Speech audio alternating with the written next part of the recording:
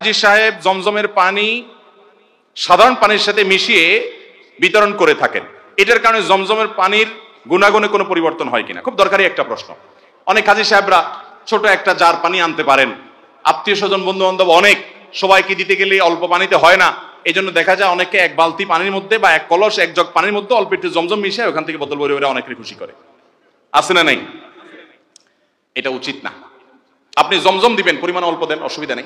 কারণ জমজম যেটা, সেটা অন্য পানির সাথে মিশালে, অন্য পানির পরিমাণ ধরুন এক বোতল জমজমের মধ্যে, এক গ্লাস জমজমের মধ্যে দুই গ্লাস অন্য পানি মিশালেন। তাহলে এখানে এক গ্লাস জমজমের যে উপকারিতা, এটা পান করলে, মিশ্রিত পানি পান করলে ওই এক গ্লাস জমজমের উপকারিতাটাই হবে। বাকি যেটা জমজম না, সেটার উপকারিতা হবে। অতএব এটা করার কোনো প্রয়োজন নেই। যতটুকু পিওর জমজম আছে, ততটুকুই দান করবেন এবং দিবেন। পরিমাণের প্রয়োজনে অল্প দিবেন। মানুষকে বেহুদা খুশি করার দরকার নাই। আল্লাহ তালা আমাদেরকে আমল করার তফিক দান করুন। ভাইরা, আমার রাত অনেক হয়েছে, আমরা আর প্রশ্নোত্তরে যাচ্ছি না।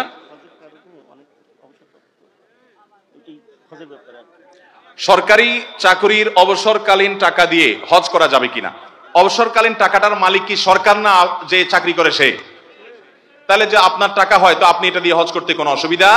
হালাল টাকা কিনা সেটা হলো বড় কথা। সরকারি চাকরি করে ঘুষ খেয়ে পেট ফুলিয়ে সেই টাকা দিয়ে আপনি হজ করছেন, তাহলে সেটা কি হবে না? জায়েজ হবে না।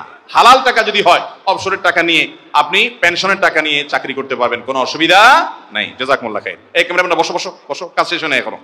ভাই, আমার কাছে পুরস্কার অনেক, কিন্তু আমার হাতে সময় খুব কম। আমি পটাপট আকিকা কততম দিনে দেওয়া উত্তম? ছেলে হলে দুইটা, মেয়ে হলে একটা আকিকা দিতে হয় কেন?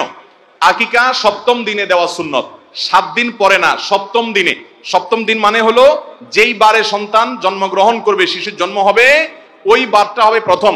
এরপরে দ্বিতীয়, তৃতীয়, চতুর্থ এভাবে করতে করতে সপ্তম দিনে আকিকা দেওয়া সুন্নত। এটা হিসেব করার একটা সহজ বুদ্ধি হলো ধরুন সন্তান রবিবারে জন্ম নিয়েছে। হিজরি বর্ষের রাত আগে আসে, শনিবার, দিবাগত রাত আসে, এটা রবিবার ধরা হবে। বা রবিবার দিনে জন্মগ্রহণ করেছে। যেই বারে জন্মগ্রহণ করবে, পরবর্তী সপ্তাহের আগের বারটা হবে আকিকার দিন। রবিবারে জন্মগ্রহণ করলে পরের শনিবার হবে আকিকার দিন। শনিবারে জন্মগ্রহণ করলে পরের শুক্রবার হবে আকিকার দিন। শুক্রবারে জন্মগ্রহণ করলে পরের বৃহস্পতিবার হবে আকিকার দিন ওটা হলো সপ্তম দিন। ওই দিনটাতে আকিকা করা সুন্নত। আকিকাকে বিলম্ব করে অনেকে যে কোরবানির সাথে করব না, আকিকা সপ্তম দিনে করাটাই হলো কি?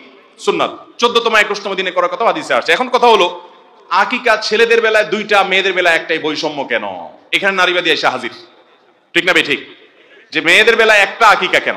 দেখুন, আকিকার একটা অন্যতম উদ্দেশ্য হলো এটা মানুষের মানুষের সুস্থতার জন্য ইন্স্যুরেন্সের মতো। বিভিন্ন হাদিস থেকে বোঝা যায় রোগ বালাই থেকে, বিপদ আপদ থেকে শিশুকে রক্ষার জন্য এটা কার্যকরী একটা ব্যাপার। আল্লাহ তালা মেয়েদের শরীরে তুলনামূলকভাবে ছেলেদের চাইতে বেশি ইমিউন বা রোগ প্রতিরোধ ক্ষমতা দিয়ে রেখেছেন। এই জন্য তাদের বেলা একটা হলে যথেষ্ট হয়ে যায়, ছেলের বেলা একটা হলে হয় না, দুইটা লাগে। এখানে বৈষম্য না আল্লাহ চাইতে আপনি বেশি বুঝেন না। এই জন্য আপনি দেখবেন যে ছেলেদের তুলনায় মেয়েরা দেখবেন যে হায়াত বেশি পায়, অসুস্থ ছেলেরা তুলনামূলক বেশি হয়। তাছাড়া ছেলেরা বাইরে কাজ করতে হয়। তারা নানা বিপদ, আপদ অ্যাক্সিডেন্ট দুর্ঘটনার মুখোমুখি যতটা হয়, মেয়েরা তুলনামূলকভাবে ছেলেদের চাইতে এক্ষেত্রে সেফ থাকে। এই নানা কারণে ছেলেদের সেফটির প্রয়োজনটা আরও বেশি হয়। আশঙ্কা, বিপদ, আপদের আরও বেশি হয়। রোগ বালাই আরও বেশি হয়। ইমিউন সিস্টেম কম হয়। বৈজ্ঞানিকভাবে এটা প্রমাণিত। এইসব নানা কারণে ছেলেদের জন্য দুইটা আর মেয়েদের জন্য একটা। এখানে বৈষম্য না। যারা আল্লাহর বিধানের পরে ইমান রাখে, তাদের কাছে কোনো যুক্তি রাখে না। তারা আল্লাহ এবং তার রসুল সাল্লাহ সাল্লামের সবকিছু থেকে অকপটে মানে ঠিক কিনা বলেন?